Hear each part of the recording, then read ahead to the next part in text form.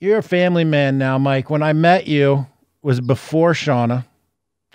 Uh, when you met me, I certainly was like on the tail end of my, my divorce. This is like 10, 12 years ago. And, uh, you know, we've both gone through a number of changes. And, and one of the things, obviously, big deal, big change, kids. But I, I remember very specifically something that we both read on the OG back in the day was that uh, don't be afraid if you don't bond with your kids right away. If as a father that kid comes out and you look at it, if you don't be alarmed if you're not met with overwhelming joy or a deep, uh, you know, immutable connection. Um, how did that play out for you? Did did you have a similar experience where it, it grows over time, uh, your connection as a father with your children? Uh, how did you find that to be personally relevant? Oh, when you yeah, so there's all this issue that you know, when the first time I held my kid, I felt my life purpose all molded into one. And I was I had my life purpose sort of sorted out by then. So I remember the first time I held Syra and she recognized my voice because I talked to her a lot when she was in the womb. And it felt great, but I didn't have this cascade of emotion where I'm weeping now I really know what life is all about. In a way, I had um, a strange feeling where Shauna took a picture of it because people don't realize just how how surreal it is for everyone, even though so many people have had children. For you, it's your first time. You go in, you have the kid. We we did a midwifery. You put your kid in the car seat, and you go home, and now you have a kid. what? So there's a picture of me where I have an ocean look on my face, and the I look over. Oh, because my life was good then. My life was dialed in on every kind of level. And I'm thinking, oh my God, what did I just do to my life? Was this a good choice or not? I'm in now, though, whatever it is I'm in for. And that was my feeling like, okay, whew, did I just blow up my life? What did I just do? But of course, as they get older, especially after nine months, it blows your mind how it's possible to love someone as much it, it blows your mind how interesting little unique creatures we all start off as before whatever happens to our minds, you know, ruins us for a while. It becomes incredible where now I don't like you, you people you want to travel. I don't know. Can I take my kids? I don't even want to be, I don't even want to be away from my kids anymore. But, but that definitely, it opens up. So I was, I, I felt a sense of like, this is really cool when I held her and she recognized my voice. And then I went through the, oh man, did I just blow up my entire life? And then as they get older, because the mom's bond is always going to be stronger. They're breastfeeding. The child was just in their womb. And with the dad, there's really not that much. I always tell people, what's my advice for a new father? Be there for the mom. There's really not that much you can do for the kid. There really isn't. You're, unless you're feeding formula or something like that, there's not that much you can do. You have to try to to make the mom's life a little bit easier because she's got to get up twice at night, sometimes three times at night. She might not get more than four hours of sleep for a year. So she's gonna like be maybe lash out at you a little bit. Doesn't mean you don't draw boundaries, but it does mean you have to have a, an emotional awareness of where that's coming from. How would you react, Mr. Man, if you hadn't slept for more than four hours in a year? Probably you would be lashing out a little bit too, and then you don't feed into that then you don't take it personally. You can't believe that. Now you're fighting. That's what happens to people is you you feed into energy, which is your choice, and then you make it worse. And now you have this spiral when really you're you're just dealing with a sleep deprived person who has been getting up three times every night for for however long.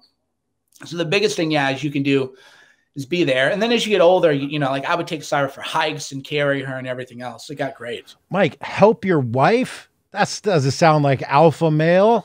Beta, beta, right? Super yeah, beta. beta. Yeah. people people fail to understand what leadership is really all about. It's about setting a mission, getting your team on board with the mission, and then figuring out a way to be the most use and help to the teammates on the mission in achieving the mission. What is your highest and best use at this time period?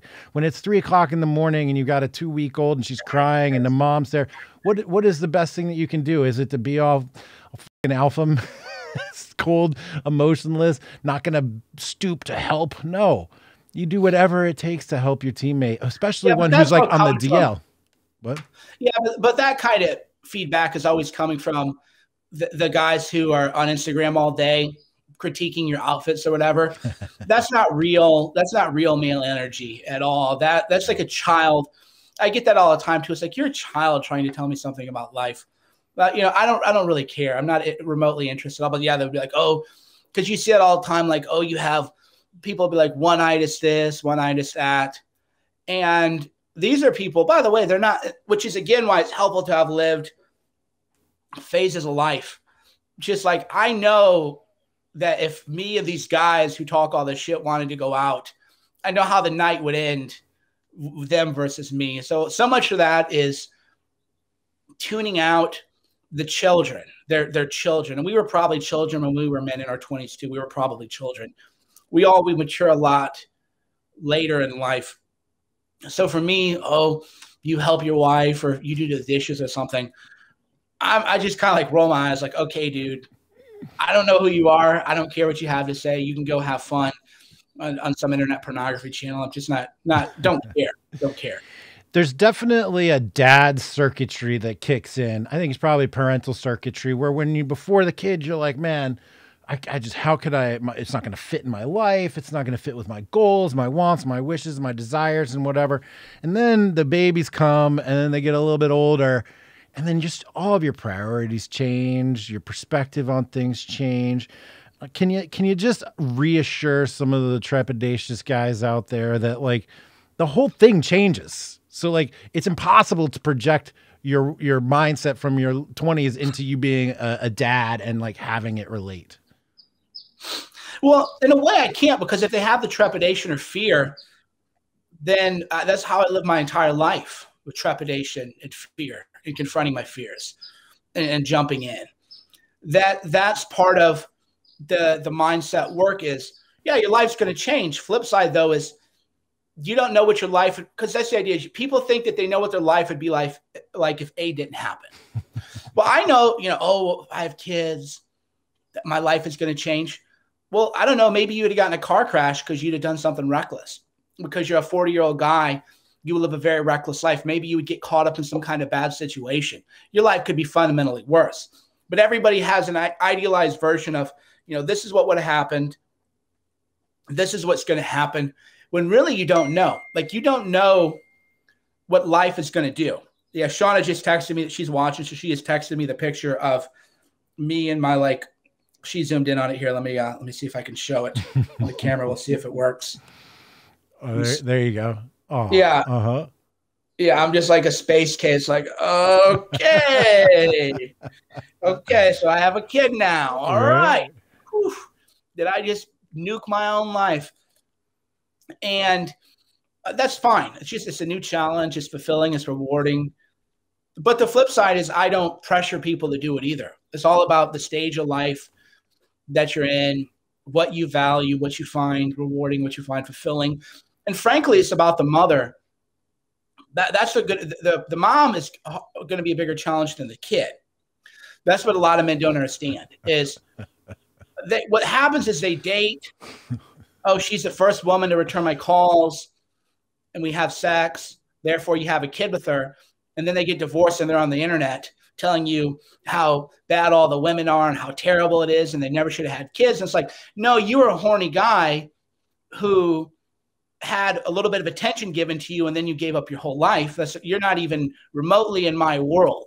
You're not remotely in the realm of what matters. So I always tell guys, if you think you want kids, you're dating the mother of your children and the grandparents. So if there's a problem, you because you want to talk about being alpha, alpha is much less about dating a lot of women and more about can you just say, hey, this is an attractive woman, I like her, but her grandpa her parents are a mess, and I don't want them around my kid because that would just be bad. And then saying, sorry, I think you're a good person, but we just can't do this. Right. That that's more how you have to look at it is this is going to be the mother. Like I said, this you were you're at my wedding. I said this to you know one of the reasons I married Sean, and people were kind of mortified. The people who didn't know me, if it's your first time meeting Cerno, I don't give off the best impression, I think, because I'm very authentic and truthful. And it takes a while, it takes a while to like me. And I said at the wedding, yeah, one of the reasons that you know I married Sean is because I knew her grandparents were great people and that they would be heavily involved with with kids. And people were like, oh, that you know, you're because you're supposed to just say, oh, pure love. I found my honey boo and blah blah blah blah blah. But really, it's no. I obviously was love her, obviously, but it, it, you have to look at it more.